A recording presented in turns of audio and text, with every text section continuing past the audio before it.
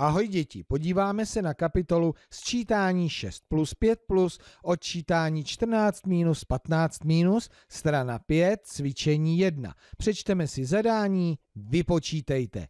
Jdeme na to.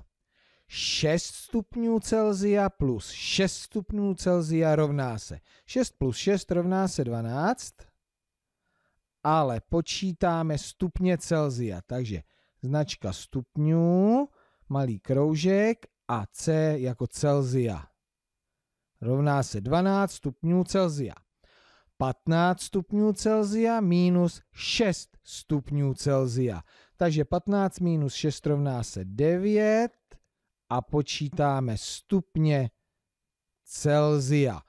Na tom asi nic není, bylo by to dobré, kdybychom si to procvičili tady na části toho testu. 6 stupňů Celzia plus 7 stupňů Celzia rovná se 13 stupňů Celzia.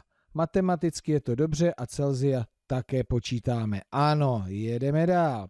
14 stupňů Celzia minus 8 stupňů Celzia rovná se 5 stupňů Celzia, tak to nemůžu souhlasit. Ne, ne, 14 minus 8 není v žádném případě 5.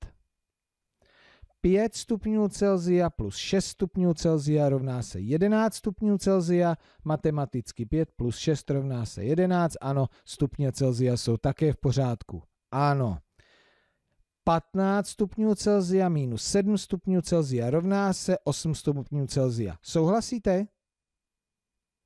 Pokud ano, tak já se k vám přidávám, protože 15 minus 7 rovná se 8 a Celzia stupně jsou všude.